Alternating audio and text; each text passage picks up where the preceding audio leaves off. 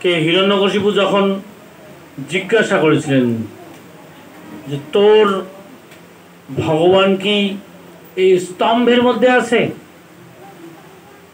তখন প্রহ্লাদ মহারাজ বলছেন যে যেহেতু ভগবান সর্বব্যাপী, সর্বত্রই আছে, তাহলে স্তম্ভের মধ্যে কেন থাকবে না? স্তম্ভের মধ্যেও আছে। কথা কে বলেছেন? প্রহ্লাদ মহারাজ। ঠিক তারই সত্যতা প্রমাণ করার জন্য ভগবান ওই স্তম্ভের থেকে বেরিয়ে এসেছিলেন। এখন আমাদের একটু আরও আগে মানে পিছনের কিছু ঘটনাকে জানা দরকার। মূলত কেন সেই হিরণ্যকশিপুর সাথে ভগবানের এই বিদ্বেষী মনোভাব। আর ভগবানের প্রতি হিরণ্যকশিপুর কেন এরকম বিদ্বেষী মনোভাব? কেন? কারণটা কি? আসলে পৃথিবীকে যখন তার ভ্রাতা হিরণ্যক্ষ এরকম কক্ষচ্যুত করে রসাতলে নিচ্ছিলেন, এই সামনের লোকগুলো এসে এখানে বসবে? থাক, না, এখন যারা আসবে তাদের বসা দাও তা পৃথিবী পৃথিবীকে যখন রসতলে নিয়েছিলেন, তখন সেই পৃথিবীকে উদ্ধার করার জন্য ভগবান বরাহরূপ ধারণ করে সেই হিরণ্যক্ষকে বধ করেছিলেন। এ কারণেই স্বামী মারা গেলে তার যে হিরণ্যক্ষের যে স্ত্রী কান্নায় ভেঙে পড়েছিলেন। এমনকি ঠিক হিরণ্যকশিপুর যে মাতা, সেও কান্নায় ভেঙে পড়েছিলেন এবং সন্তানরা, তারা সকলেই কান্নায় ভেঙে পড়েছিলেন। তাদের শোক নিবারণের জন্য হিরণ্যকশিপু ঠিক তার মা, তার ঠিক ভাই বউ তার ভাস্তা তাদের সকলের কাছে সে প্রতিজ্ঞা করেছিলেন, কে? আমার ভাইকে যে হত্যা করেছে আমিও তাকে হত্যা করব। এই প্রতিজ্ঞা করেছেন। আমি তাকে মেরেই ছাড়ব। তখন থেকেই হিরণ্যকশিপু তার ভাতৃ হত্যার প্রতিশোধের জন্য এই ভগবানের প্রতি বিদ্বেষী হয়েছেন। বিদ্বেষ ভাবাপন্ন হয়েছেন। কারণ সমস্যা হয়েছে কি যে বিদ্বেষিত হলো কিন্তু বড় সমস্যা হচ্ছে কি যে যাকে মারার জন্য প্রতিজ্ঞা করেছে প্রতিশ্রুতি তা সে তো কাকে মেরেছে? হিরণ্যক্ষকে মেরেছে। তাহলে হিরণ্যক্ষ আর হিরণ্যকশিপুর শক্তি সমান কিনা? যদি আমার ভাইকে সে হত্যা করতে পারে, আমার সমান শক্তিশালী, তাহলে সে আমাকেও হত্যা করবে কিনা? তারপরে দেখে রাগের মাথায় তো প্রতিজ্ঞা করছে, কিন্তু হিরণ্যকশিপু অত শক্তিশালী না, কার কাছে? ভগবানের কাছে তার শক্তি তুচ্ছ। তারপরে সে ভাবছে যে, যেহেতু আমার শক্তি তুচ্ছ, তাহলে এখন আমার কি করা উচিত? এটা এটা জানে যে দেবতাদের কাছে যদি প্রার্থনা করা হয়, আরাধনা করা হয়, তাহলে দেবতাদের কাছ থেকে এরকম কোনো বর পেলে সেটা, সেটার জন্য অনেক শক্তিশালী হওয়া যায়। এটা আবার জানতেন।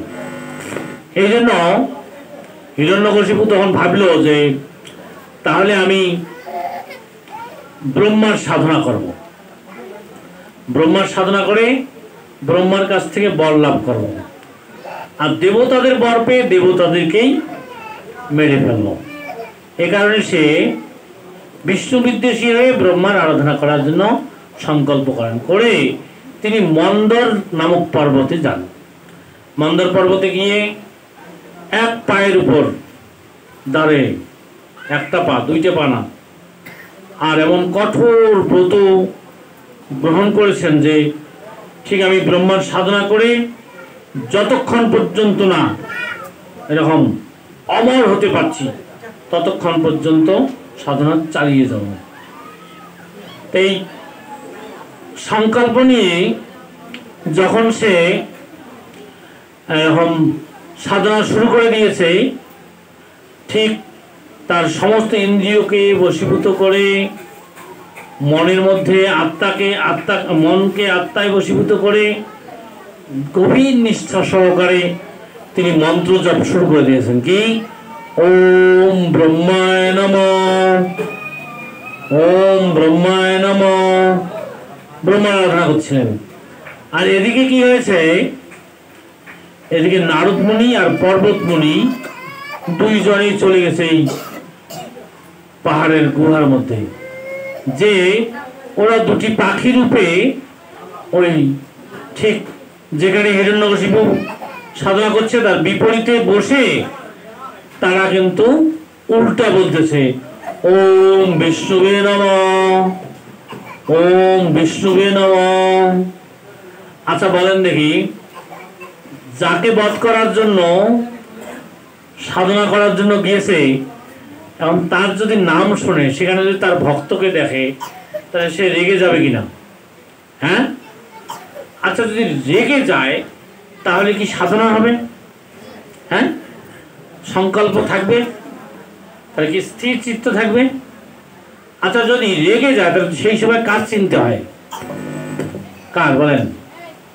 আপনি যার উপর রেগে যাবেন, তখন আর অন্য কোনো চিন্তা থাকবে না। তখন কাজ চিনতে হবে? হ্যাঁ? আপনার নিজের চিন্তাও থাকবে না তখন। কাজ চিনতে হবে? ওই শত্রু চিন্তা একদম। ওম ব্রহ্মায় নম। আর ওদিকে বিপরীত দিক থেকে বলছে, ওম বিষ্ণুবে নম। আর এই বিষ্ণুবে নম যখন বলতেছে তখন রেগে গেছে, কি? আমি সাধনা করতে এসেছি, এখানে এসেও দেখি বিষ্ণু। বিষ্ণু বিষ্ণু। তা রেগে যখন গেছে তখন আর তখন দেখে যে ব্রহ্মায় নম যদি মুখে বলতেছে কিন্তু ভিতরে কি জপ হচ্ছে? বিষ্ণু বিষ্ণু। আমার শত্রু ব্রহ্মায় বিষ্ণু। এরকম বিষ্ণু বিষ্ণু উচ্চারণ হচ্ছে। তখন সে কিন্তু খুব চালাক ছিল অনেক শাস্ত্রজ্ঞ ছিল। যে যদি ক্রোধ নিবারণ না হয় ততক্ষণ পর্যন্ত সাধনা করা ব্যর্থ হবে। এবং ওই কার নাম হবে? শত্রুরের চিন্তা হবে, শত্রুর নাম হবে। শত্রুর সাধনা হবে। তাহলে লাভটা কি হলো তখন সে সাধনা বাদ দিয়ে বাড়িতে চলে গেছেন বাড়িতে গিয়ে যখন বাড়িতে বাড়িতে তো স্ত্রী, কয়েদি আছে, কয়েদু। ঠিক এর মধ্যে এই সে কয়েদুর সংস্পর্শে গিয়েছে। তার স্ত্রীতে গমন করেছে। যখন স্ত্রীর সাথে মেলামেশা করছে, সেই সময় তার কি চিন্তাটা কি ছিল? বিষ্ণু বিষ্ণু, আজকে বিষ্ণুর জন্য আমার সাধনা হলো না। বিষ্ণু বিষ্ণু বিষ্ণু। এই বিষ্ণু চিন্তা করতে করতে যেহেতু কয়েদু মাতার সাথে মিলিত হয়েছে, তাই এক বিষ্ণুর মহান ভক্ত তার ওই কয়েদু মাতার শরীরের মধ্যে প্রবেশ করেছে। এই জন্য কয়েদু, যদিও হিরণ্যকশিপু একটা মস্ত বড় অসুর, বদমাইশ। কিন্তু তবুও ওই যে বিষ্ণু চিন্তা করে যে তার স্ত্রীর সাথে গমন করেছে, এ কারণে তার পুত্র বিষ্ণু ভক্ত হয়েছে।